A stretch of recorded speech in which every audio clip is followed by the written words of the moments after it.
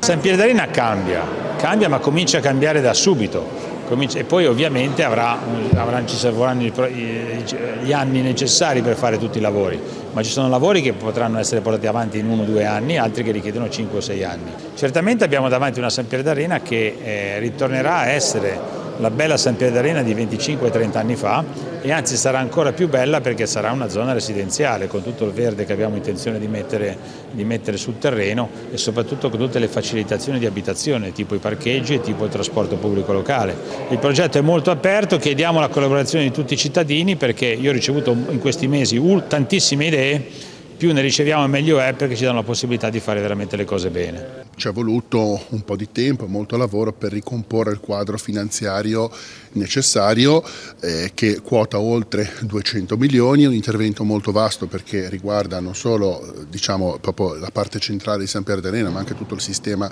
delle connessioni, Bassa Valpocevera, di Negro, è un piano che sicuramente si caratterizza per un inserimento importante di verde con questi tre parchi, il parco lineare sulla copertura di lungomare Canepa che è un intervento che i cittadini chiedevano da molto tempo,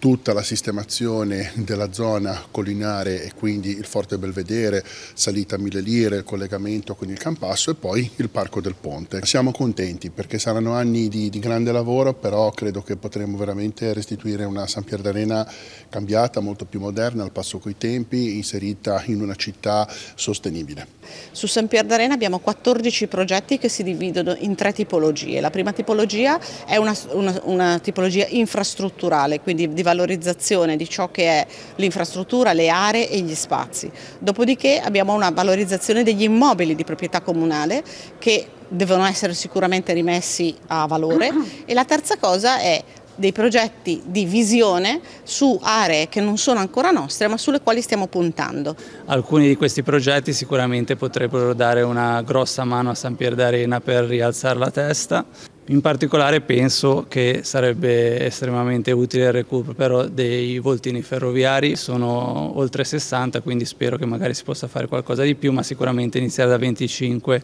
eh, facendo installare opere di artigianato o comunque eh, attività qualificanti sul territorio sarebbe sicuramente una cosa buona.